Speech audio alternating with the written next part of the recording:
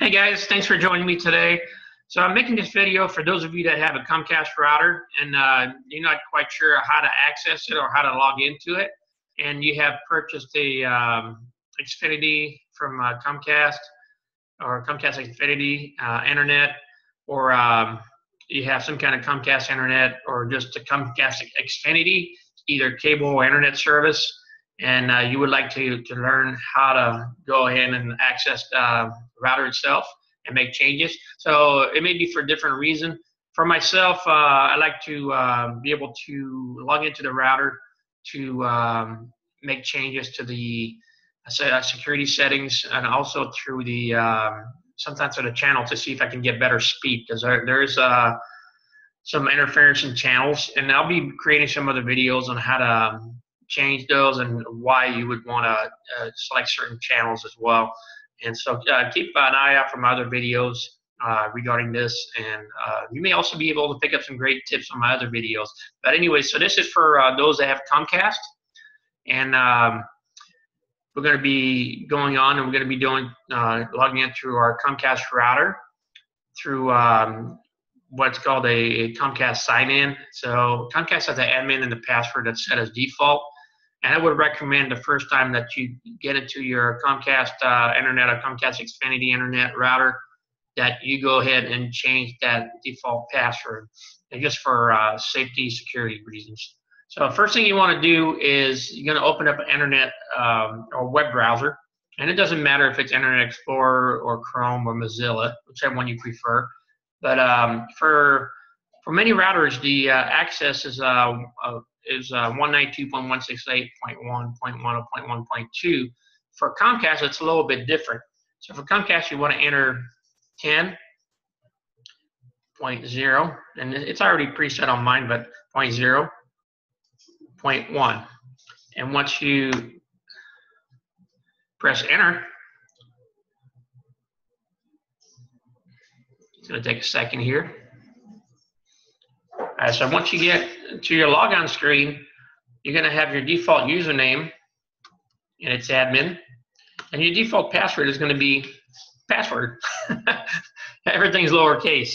So um, I already changed mine, so I'm going to put mine here, and you won't be able to see it. I'm going to select login. And this is what you will see. So here it shows on the first page it shows that I have Ethernet, I have Wi-Fi. On the left-hand side, you'll see you have options for gateway. You can see gateway at a glance, which is what we're looking at here.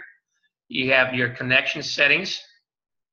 If I do the drop down, you'll see their status, Xfinity network, local IP network, Wi-Fi, firewall, software, and then if you select hardware, you have system hardware, battery, LAN, wireless, and then wizard.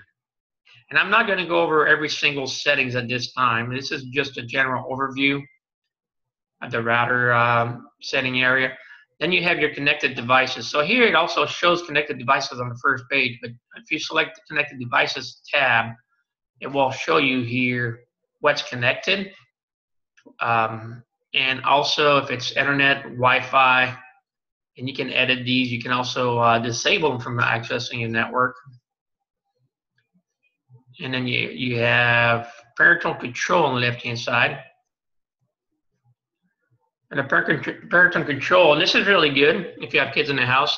You can manage sites, you can manage services, you can man manage devices, and you can look at reports. And you can also enable it or disable it. Next tab you have is the Advanced tab. Under the advanced tab, you have port forwarding, port triggering, DMZ, dynamic DNS, device discovery, and then you have your troubleshooting tab. So under troubleshooting, you have logs, diagnostic tools, reset, robot gateway, and change password. So when you first log in and you want to reset your password, I would recommend going here under troubleshooting, change password, do that right away uh, so you don't have to worry about uh, somebody maybe driving around your neighborhood trying to access your uh, your wireless gateway and changing the password for you, so you won't be able to get in unless you uh, contact Comcast. let's always be uh, able to be able to do things yourself without ha- having to wait on the phone. You know, uh, a lot of these internet service providers, you may have to wait quite a while to get get a hold of them. So this is the this is the overview itself, um, and again, this is for those that have a Comcast router. So um, if um, if you have a Comcast router, you're also qualified to have um, basically a, uh, a hotspot. Your router can be your hotspot, but you also have Xfinity uh, Internet to where you can access um, Xfinity online just about from anywhere. So that's through your uh, Comcast uh, username and password, which is usually an email that is set up to you by Comcast. But if you uh, change your preferred email, that will change as well. So uh, I hope this has um, brought you some value. Be sure to leave comments down below. Or if you'd like to get more information on certain parts of this uh, router uh, access, uh, again, be sure to like, share, and leave me comments. And uh, watch my other videos. Um, and if you'd like to, to learn more about uh, what it is that I do, uh, you'd like to check out my blog, look at the description down below, and uh, I'll see you there. Thank you.